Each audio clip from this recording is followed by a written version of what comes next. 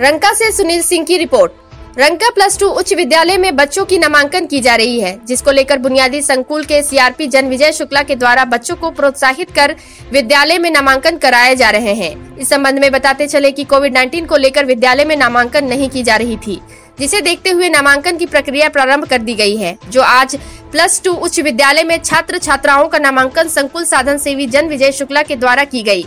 इस संबंध में विद्यालय के शिक्षक संकुल साधन सेवी जन विजय शुक्ला ने बताया कि वरीय पदाधिकारी के निर्देश पर आज रंका के project girls high school Samarth Vidyalaya, Sanskrit Vidyalaya एवं राजकृत उच्च विद्यालय में जाकर बच्चों को नामांकन कराया गया।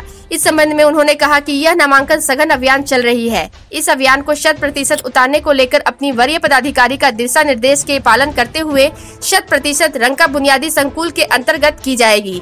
इस मौके पर विद्यालय के प्रधानाध्यापक कृतिवास महतो एवं इनको सभी सघन नामांकन अभियान में बच्चों को एडमिशन कराते एवं बच्चों को मदद करते देखे गए।